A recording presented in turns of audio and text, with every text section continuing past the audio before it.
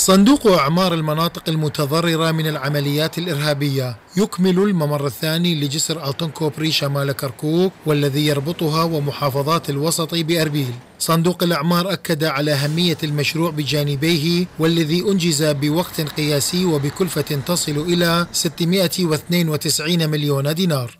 هذا الجسر لديه له أهمية كبيرة أهمية اجتماعية وأهمية اقتصادية.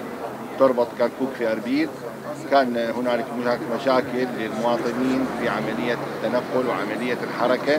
الآن بدأت الأمور تستعيد عافيتها ونتوقع أن هنالك كثير من المشاريع ستقوم الصندوق بإنجازها نحن الآن عازمون على وضع خطة إضافية جديدة لمحافظة كركوك. حصة كركوك لصندوق الأعمار هي حصة ضعيفة وضعيفة جدا لا تتعدى ستة وسبعة بالعشرة.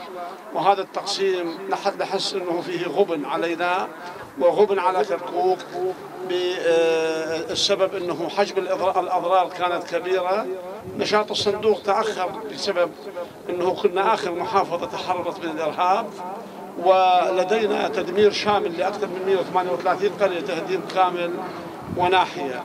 ويعتبر قطاع الطرق والجسور من الأولويات التي وضعتها الإدارة المحلية ضمن خطتها أمام صندوق الإعمار لما يحمله من بعد اقتصادي. واستراتيجي.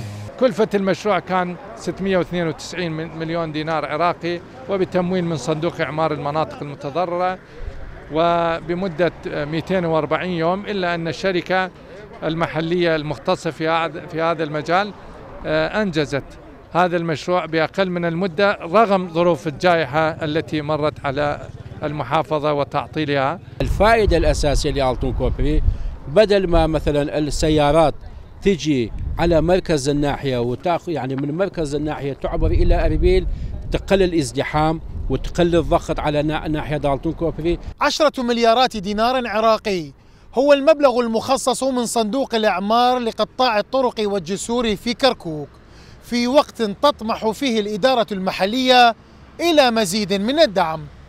من جسر آلتون كوبري شمال كركوك رود ينوار العراقية الإخبارية.